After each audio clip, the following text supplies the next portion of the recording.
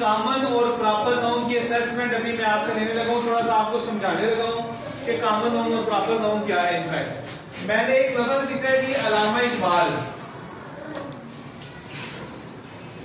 अलामा इकबाल। अलामा इकबाल हमारे क्या है? कॉमन नाउन है कि प्रॉपर नाउन है प्रॉपर नाउन है यार क्या है प्रॉपर नाउन इकबाल का कॉमन क्या बनेगा शाबाश? कौन बताएगा? और कौमी शायद नहीं यार। कॉमन क्या बनेगा जी? अलामा इकबाल का कॉमन क्या बनेगा? नाम। है ना तो इनका कॉमन क्या बनेगा? मैन मैन क्या होगा? कॉमन आप जैसे कायद आज़म है यहाँ मैं लिखता हूँ अली। अली क्या है? तो इसका कॉमन क्या बनेगा? वाई। वेरी गुड अच्छा जी इसी तरह मैं लिखता हूँ हमीदा। हमीदा। इसका कॉमन क्या बनेगा? घर नहीं है हमीदा आंटी है। अब एक मॉडर्न आपको लिखते हैं। फ़र्ज़ करें मैं लिखता हूँ। Fatima.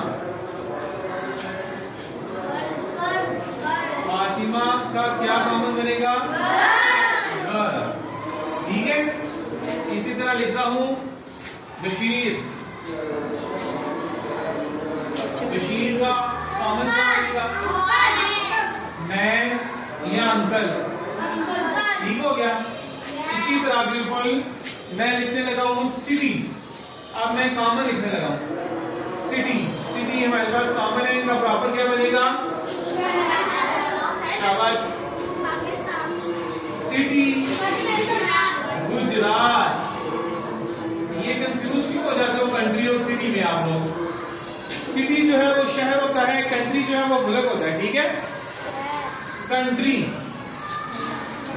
C O R Y country country का प्रॉपर क्या बनेगा? Proper Pakistan.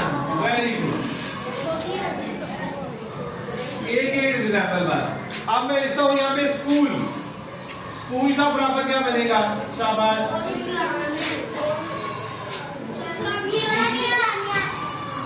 G P S Islamia